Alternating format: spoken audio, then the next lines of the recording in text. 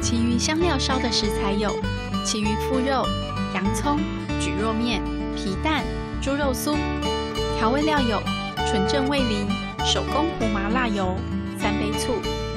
来，接下来我们准备这个煎这个芭蕉，芭蕉旗鱼，黑潮那边的哦，所以它那边的，因为它的潮流特别强，所以它的运动量比较大，油脂比较多，所以你看金工香酱，哦，这个非常好吃哈，等下都不需要加油，只要稍微煎一下就好。那你金针呢？来，盖小姐，这蒟蒻面，这也是我非常爱的。这个蒟蒻哈，当然是日本进口啊，它的这个第一个，它可以煮热的，也可以吃凉的。好，那我最主要把皮蛋跟蛋蛋白跟蛋黄分开的原因是，第一个它有口感。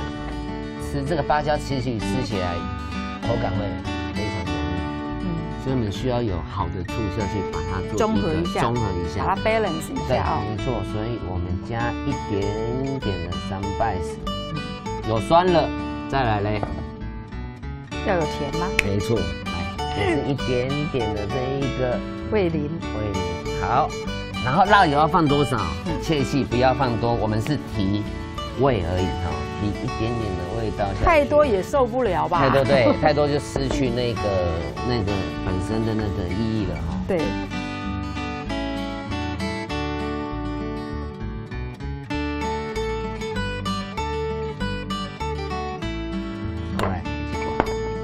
哇，我的最爱。这个它的部位是用猪的后腿肉，然后我们一点点的金桔。那个啦，非常养生的一个东西。